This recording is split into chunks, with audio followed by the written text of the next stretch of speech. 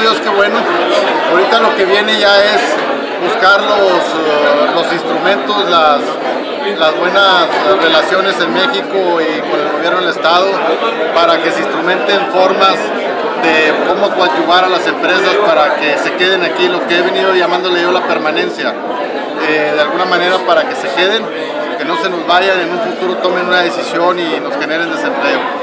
Estamos viendo todo eso, pues, mecanismos. Yo ya hice un acuerdo de Cabildo donde propusimos tres eh, propuestas, dos para en materia federal, para el Congreso de la Unión y una para el Congreso local aquí en Tamaulipas. No, yo creo que no. Fue, fue una situación muy particular que sucedió por, por la cuestión del incremento del 100% del salario mínimo.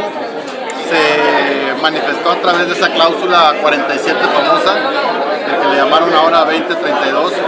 Eh, creo que lo que debe prevalecer en el futuro es una buena relación entre empresas y sindicatos eh, y que siempre prevalezca el derecho.